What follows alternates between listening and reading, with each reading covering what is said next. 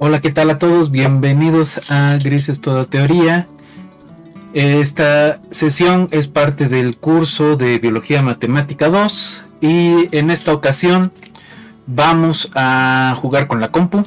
Vamos a hacer algunos modelitos eh, en autómatas celulares y luego vamos a seguir hablando un poco más sobre la teoría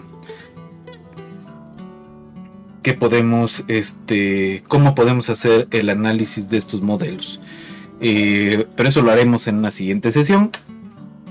Hoy vamos a ver el, este,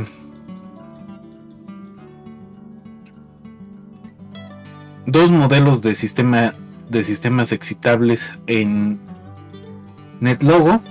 Vamos a, irnos al ejemplo que trae NetLogo y vamos a ver al menos un ejemplo en este Python. Podríamos ver dos también. De igual modelitos en, en autómatas celulares. Este. Y cómo podemos programarlos y simularlos. Eh, entonces vamos a ver el, en NetLogo, el juego de la vida. Y no sé si un modelo de votantes. O un incendio forestal, que es más como lo que nosotros estamos persiguiendo. Podríamos ver el del incendio forestal y dejamos el de votantes para que lo revisen. Este, tengo un video donde vemos paso por paso cómo se programa ese, ese modelito. Este, pero ahorita quisiera ver los dos que más me interesan de momento y luego del modelo de autómatas de Greenberg Hastings. Entonces, este, pues vámonos a la compu a ver qué podemos este, trabajar y continuamos.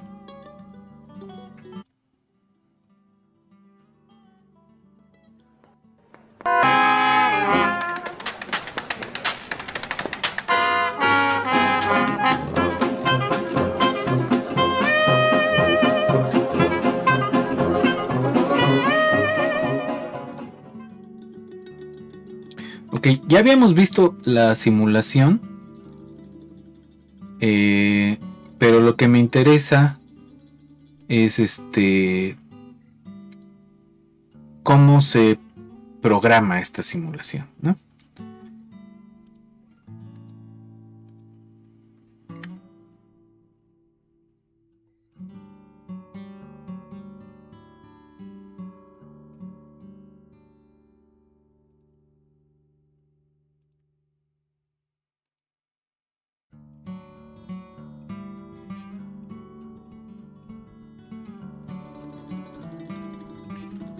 Ok, entonces vamos a ver. Aquí está el código. Entonces, en NetLogo siempre vamos a empezar con dos métodos que son el setup. Aquí es un poquito más complicado y el go, ¿no? Este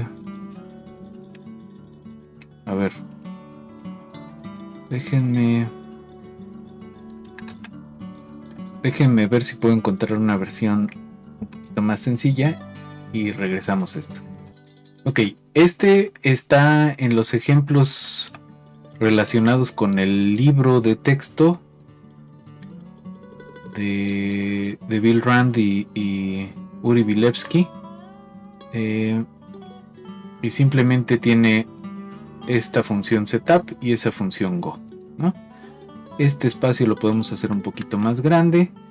Este, digamos de 60 por 60. Y vamos a hacer el tamaño de los cuadritos chiquitos, ¿no? No tan chiquitos. Y ahí están, ahora sí. Y tenemos esencialmente el mismo comportamiento. Entonces, eh, en el fondo, las dos funciones que me interesa eh, estudiar ahorita son simplemente setup y go. Entonces, ahora sí, vamos a ver. Eh, entonces, aquí arriba lo que vamos a poner son propiedades. En este caso, NetLogo tiene tres tipos de agente. Los agentes que se mueven, que se llaman tortugas, turtles. Los agentes del, mundo, que se llaman parches. Y los agentes eh, de redes, digamos, que son las relaciones entre tortugas, que se llaman links o enlaces. Eh, entonces aquí vamos a trabajar con parches. Cuando trabajamos con autómatas celulares, lo que trabajamos son parches. Entonces eh, la función setup lo que va a hacer es eh, inicializar nuestro espacio de agentes, va a inicializar nuestras celdas. Entonces, la única propiedad que nos va a interesar de momento es el estado que lo vamos a representar con un color, que es una propiedad que ya traen los, los, parches, el color, y el, la, la vecindad, ¿no? Entonces, en setup, siempre vamos a empezar con un clear all que limpia todo el espacio y vamos a cerrar con un reset ticks que este, pone en ceros el reloj. Eh, entonces vamos a pedirle a los parches, a parches, que le pongan de color azul menos 3, que son, aquí dice, esas son las células, las celdas muertas, es decir, las que podemos identificar con el número 0. Y las demás las vamos a poner de color verde. Para un número aleatorio alrededor de 100 y si ese es menor que 10 entonces este esas van a estar vivas ¿no?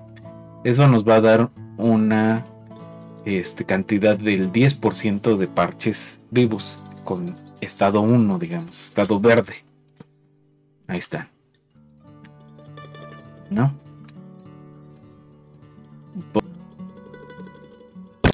no tiene ninguna dificultad podríamos poner rojos y ¿qué les gusta? Rosas, como habíamos puesto en el otro. Eh, creo que no van a... Ahí están, ¿no?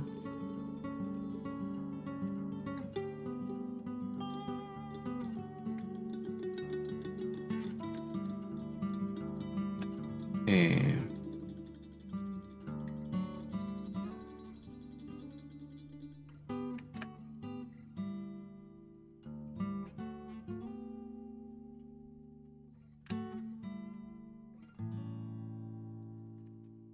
digámosle menor que 20.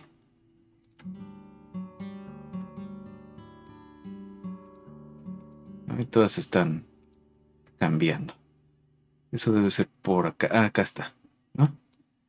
De color pink. Eh, y este red. Red. color pink. No siempre podemos cambiar los colorcitos. Ahí está. Ok. Eh, entonces ahí está. Ese es el. Entonces el, el setup nos pone aleatoriamente 20% de el este de de los parches prendidos, ¿no? En estado clarito. Aquí podemos introducir un deslizador como los que teníamos en el modelo más complicado eh, con una cosa que vaya del 1 al 10 y esto le vamos a llamar P. Eh, esa P va a ser la proporción que vamos a tomar aquí. Entonces, mientras más grande sea la P, más cosas prendidas va a haber. Si la P es chiquita, tenemos ese comportamiento y si la P es muy grande, se va se van a apagar todos, ¿no? Ahí está.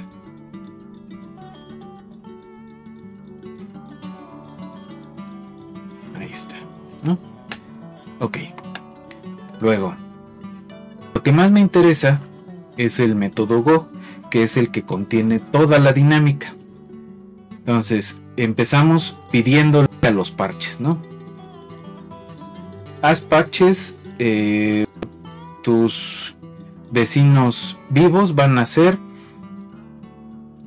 cuéntate los vecinos con color rosa, ¿no? ¿Quiénes son esos vecinos? Los vecinos en una este, vecindad de Moore, ¿no? Siempre podemos pedir también los vecinos de de la vecindad de von Neumann con Neighbors 4, ¿no? ¿cómo sería la dinámica si cambiamos el tipo de vecindad? Es completamente distinta, ¿no? Si. Entonces, para la vecindad de Moore, tenemos esta dinámica bien sabrosa. Y para la. La de Neumann, se estaciona rápidamente. Tenemos por aquí unos bailadores pero no demasiados, ¿no? Pues para densidades chiquitas también se mueren rápido. Cuando la vecindad es de Neumann, de von Neumann, este tenemos comportamientos distintos, ¿no? Entonces, eso también lo podríamos este, poner con un interruptor, por ejemplo, se llame V. Eh, ¿Cómo será? Eh, Moore.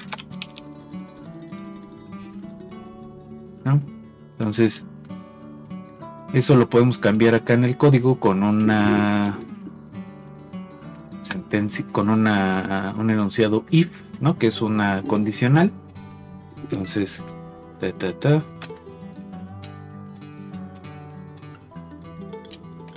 Entonces, if more. Entonces, esto, vamos a tomar la vecindad bonita. Y else Moore. Entonces, si Moore es on, vamos a usar esta. Y si no, ponemos otro, otro, otra, otra serie de órdenes aquí. Y nada más vamos a cambiarle acá por el 4 que es la vecindad de von Neumann ¿no? Eh, algo me está faltando aquí. Este va con este de arriba. El if else tengo este. Este este del Aspaches. No, me falta el Aspaches.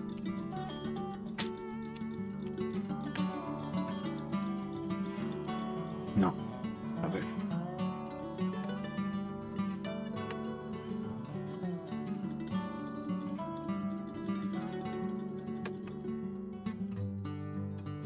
Este se cierra aquí, entonces este lo puedo quitar, creo. Ajá, ahí está.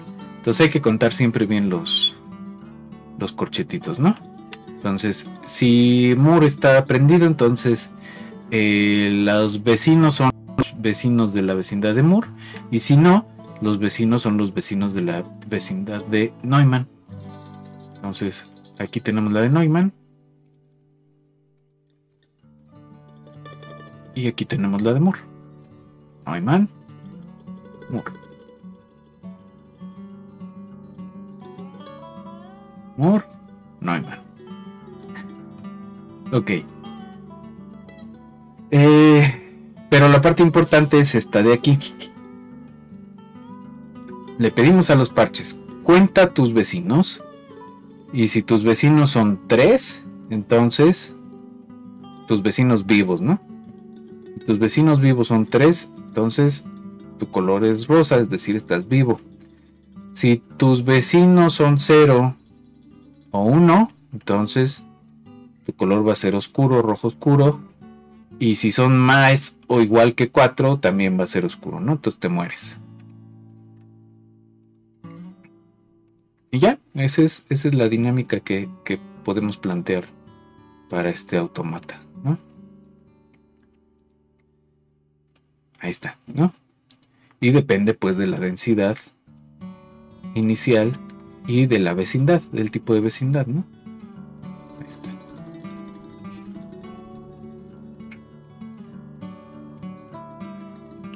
Ok. Bien. Entonces este se los mando. Se los pongo aquí en, la, descripción, ¿no? Este, este lo vamos a guardar como bueno, ya quedó sobrescrito del otro, creo. No. Este se va a llamar Juego de la Vida. Gol. Eh, y ese se los pongo en, la descripción, ¿no? Ahora vamos a ver este otro eh, que simula un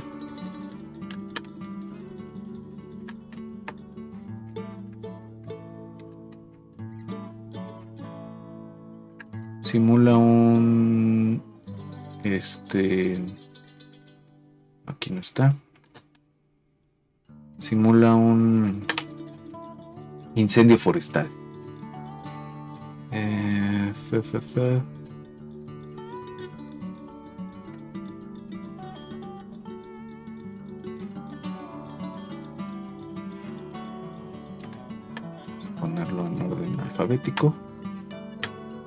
Se llama fuego según yo.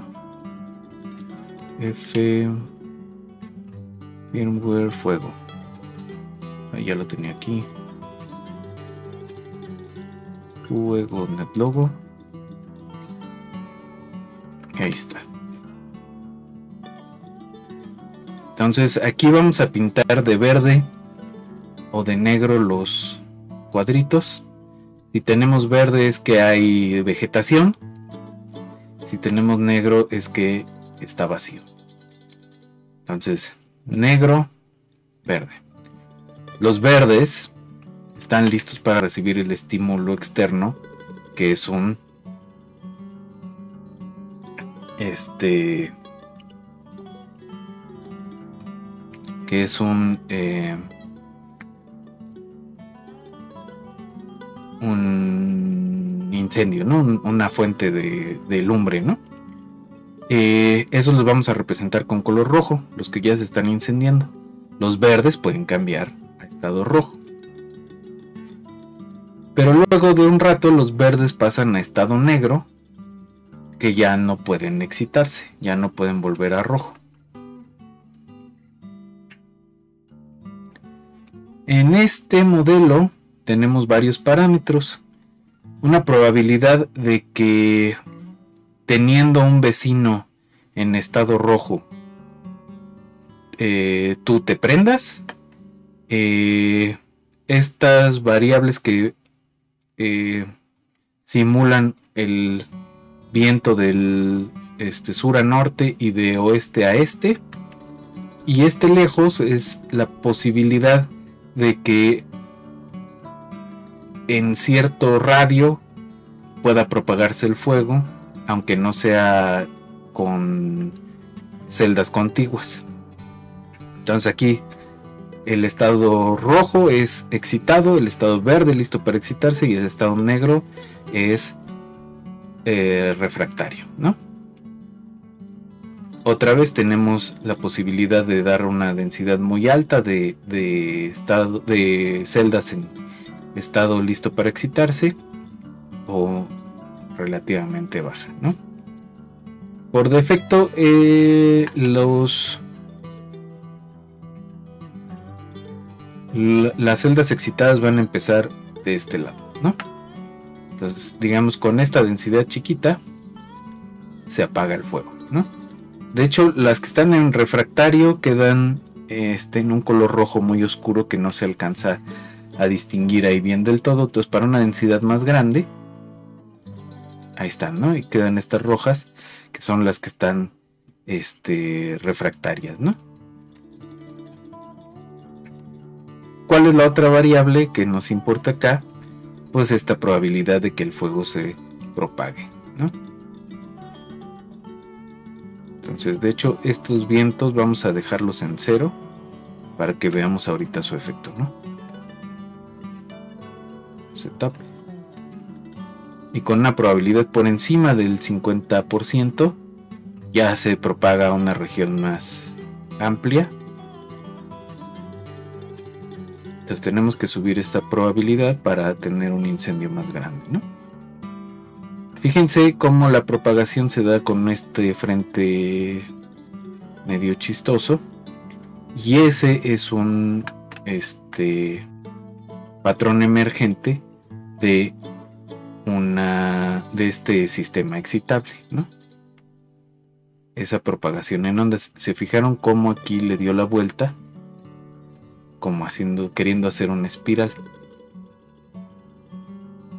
Fíjense cómo se propaga. El frente de onda parece que hace este barrido, pero en realidad hace como que se los está este em,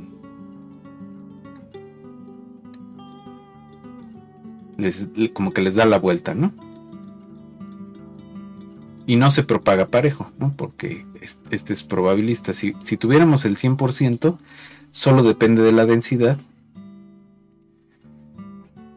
Entonces, en una densidad suficientemente grande se propaga aquí sí como un frente de onda así directo. Esta probabilidad permite que tengamos otro otro tipo de de este de patrones de propagación, ¿no?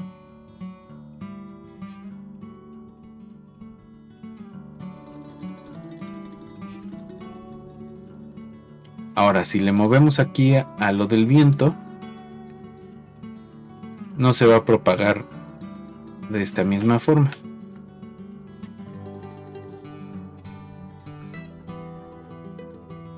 Bueno, en este no se distingue bien, ¿no? Pero que le hacemos más chiquito así. A ver, así. Entonces fíjense cómo va a empujar más hacia adelante y va a haber zonas que las deja sin, sin quemarse, ¿no? No alcanza a propagarse todo parejo, sino que el fuego se va empujando hacia, en este caso, hacia abajo y hacia la derecha, ¿no?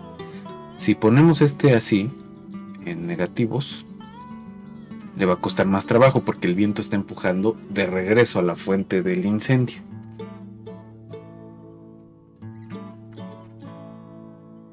Entonces otra vez tenemos distintos patrones de propagación dependiendo de cómo modelemos el viento, ¿no? Y aquí se va a propagar hacia acá.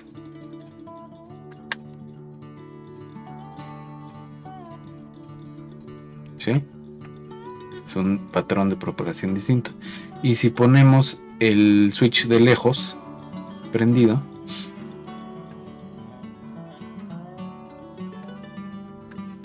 llega más lejos la propagación, pero este, pues sí la, la ¿no? De regreso. Ahí está.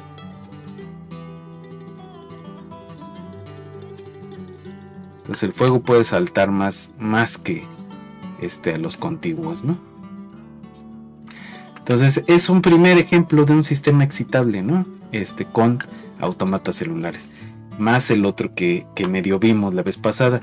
Les dejo también al final el video donde construimos este modelo desde cero y desde luego el, el, el código en la descripción. Bien. Ok. Ahora vamos a ver este la parte de Python. Uh, ok.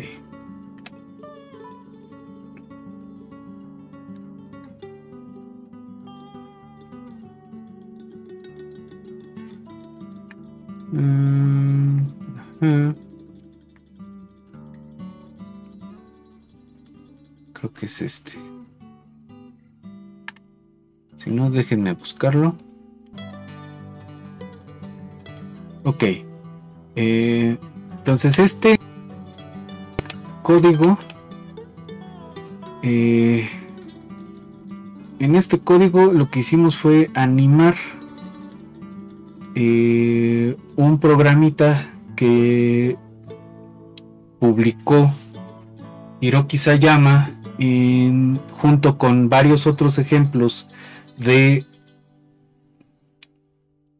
modelos que simulan sistemas complejos utilizando automatas celulares, redes, ecuaciones diferenciales y modelos basados en agentes y ecuaciones en diferencias también. Eh, Dayama tiene una colección de varios ejemplos de este,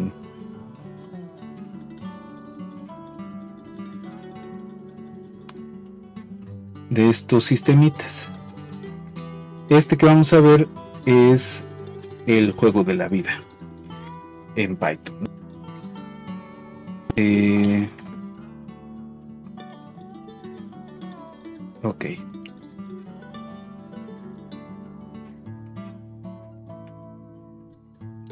Entonces, aquí tenemos, vamos a importar numpy matplotlib.pyplot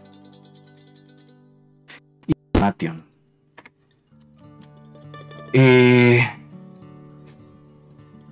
lo primero que hacemos es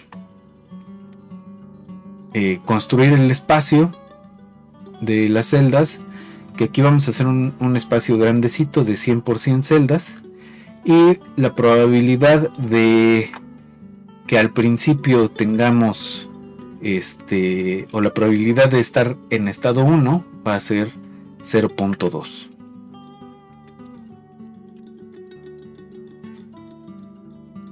Ok. En todos los ejemplos que usa Sayama, tiene tres funciones. El inicializado que da las condiciones iniciales. El observe que es lo que nos va a permitir este ver los resultados de la simulación y este update que es el que contiene toda la, la dinámica. Eh, entonces el que me interesa más es este, pero vamos a ver las tres. Eh, de hecho, el observe no lo vamos a usar. Vamos a tener que construir nuestro propio observe. ¿Cuál es el problema? Que con la eh, versión de Python que yo utilizo, el, o sea, la, versión original de Sayama contiene una gráfica de usuario muy bonita que se llama eh, PIX, P-I-C-X, de Python Complex Systems. Eh, y esa no la puedo usar, ¿no? Eh, entonces lo que hace esa llama es cargar cada uno de los modelos utilizando esa interfaz gráfica de usuario y nosotros pues no la tenemos. Lo que vamos a hacer es reconstruir la función observe utilizando el, el animation, ¿no? Entonces, ¿cómo vamos a inicializar? Eh, este no le hagan mucho caso, podríamos no usarlo. Pero vamos a usar estas dos cosas que se llaman config y next config, que van a ser dos matrices en este caso. Eh, entonces la matriz config es una matriz de puros ceros que tiene dimensión estas dos variables de acá arriba que son el ancho y el alto, ¿no? Eh, y entonces esa matriz la vamos a recorrer y utilizando esta probabilidad init eh, y la función random que está en el en el en la subbiblioteca random de NumPy eh, vamos a comparar, ¿no? Tiramos un aleatorio y si ese es menor que initprob el estado va a ser 1 y si es este cualquier otra cosa, entonces el estado va a ser 0. Podríamos ponerle aquí menor o igual y la distribución es un poquito distinta, pero bueno, vamos a dejarla así de mientras. Luego, eh, al componente XY de la matriz config le vamos a llamar estado. Y next config es una matriz de ceros con la misma dimensión, ¿no? Entonces lo que vamos a hacer en la dinámica es eh, tomar el next config en nuestra matriz de ceros y eh, actualizarla con las reglas del el autómata que estamos tratando de simular, ¿no? Observe lo único que hace es eh, graficar la matriz ¿Cómo graficamos una matriz? Usamos esta función imshow eh, y le, damos el valor de la matriz y le decimos el valor mínimo es el 0 y el máximo es 1 y utiliza un mapa binario un mapa de color. Este es el CMAP binario es decir blanco negro. Y luego le pone unos titulillos ahí. Ok. Entonces, ¿cómo va la dinámica? Aquí no se alcanza a ver todo, déjenme ver si lo puedo hacer más chiquito.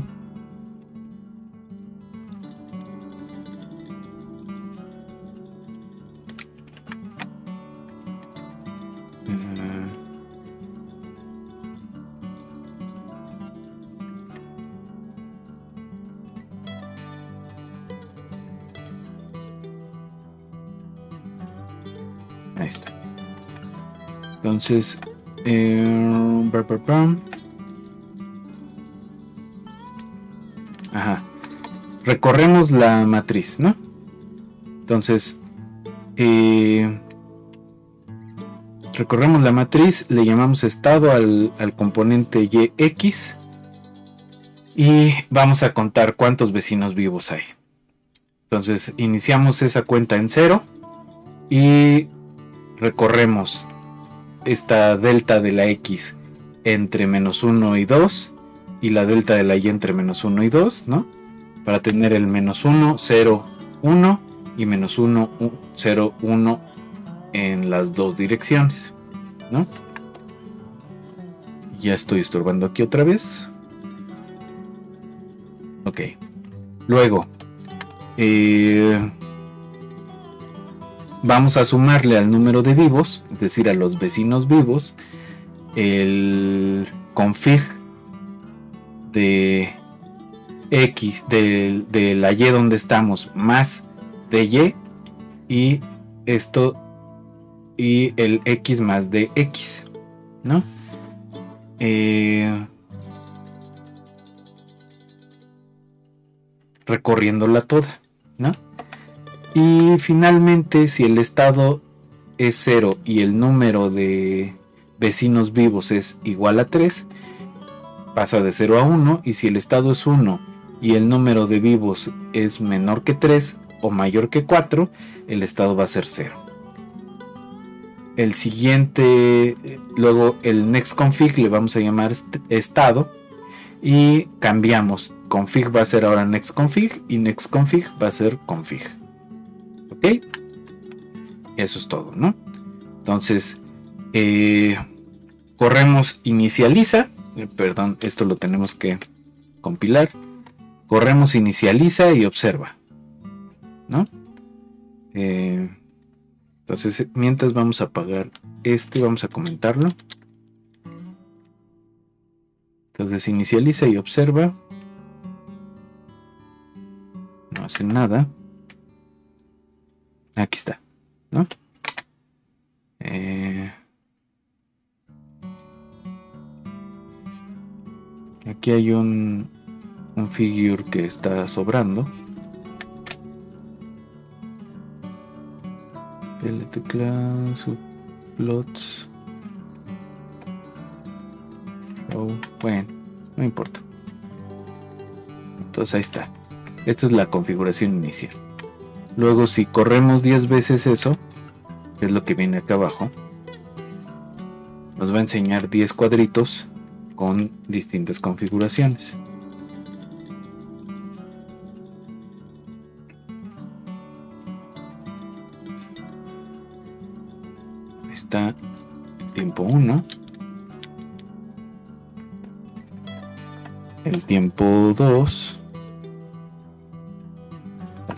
10, ¿no?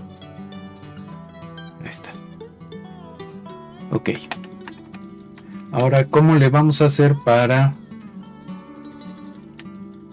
este, graficar eh, para hacer la animación. Ok, es esta, creo que sí. Entonces vamos a pedirle a Matplotlib que directamente nos grafique en el notebook con esta con esta orden de acá. Luego vamos a inicializar y vamos a abrir una lista vacía se va a llamar IMS. IMS de imágenes. Luego eh, vamos a visualizarla 600 veces. Pero en vez de mostrarla, bueno, vamos a pedirle que nos muestre una y luego vamos a correrlo para... Aquí le vamos a pedir que nos muestre una y luego lo que vamos a hacer es meter esa imagen que es el ax.imshow, en una lista que se llama imps, que creamos acá arriba, y luego vamos a correr actualiza y entonces este las matrices que la matriz config ya va a ser otra nueva y vamos a poder este meter otro cuadrito distinto. Luego vamos a animar esas imágenes aquí con este con esta función Artist Animation que va a tomar la figura que definimos aquí con subplots, los cuadritos que le fuimos que están en la lista IMS, luego vamos a dar un intervalo de tiempo entre cada uno, creo que está en milisegundos y este repeat delay no me acuerdo qué es lo que hace, pero luego lo podemos ver con más calma. Eh... Ay, no me lo va a dejar hacer. Ok. Déjenme copiar esto. Y vamos a abrir otra interfase del, de Jupyter.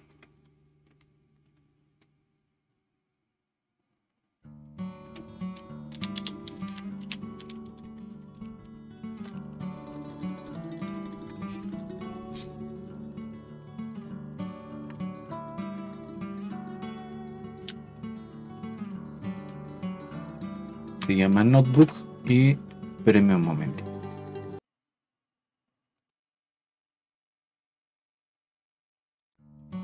Ok, entonces aquí eh, pues vamos a ver tantito la animación y se va a corre eh, este un poco rápido los frames de la animación este pues a ver a ver. También porque eh, pues va a este a converger rápido no entonces vamos a ver. Eh, vamos a correrlo todo. Y vamos a ver qué podemos ver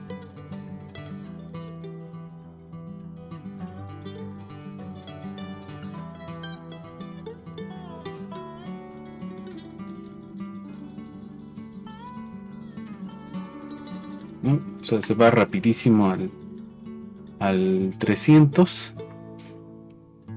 Eh, a lo mejor hay que darle aquí este, unos intervalos más cortitos o hay que cambiar aquí los, los parámetros, ¿no? De todas formas les dejo el video donde vamos haciendo paso por paso este, estas animaciones y, y se los dejo al final, ¿no? También les dejo el código acá en la descripción. Pero bueno, este, de momento parémosle aquí. Hace falta que veamos este autómatas celulares de en, en este de modelos excitables en Python y eh, que veamos el automata de Greenberg Hastings y algunos resultados que tienen que ver con este. Pero de momento dejémosle aquí y nos vemos en una siguiente sesión.